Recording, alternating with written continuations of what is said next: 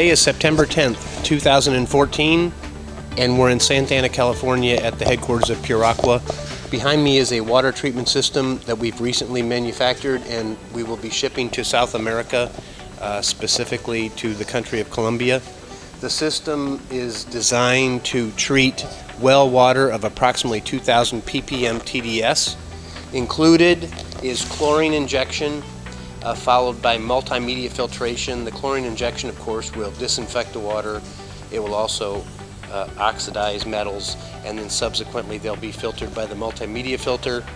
After the multimedia filter, we have activated carbon for the removal of organics and the chlorine, followed by a water softener, and then the reverse osmosis system, which is designed to produce up to 1,500 gallons per day of product water from the 2,000 ppm TDS well water.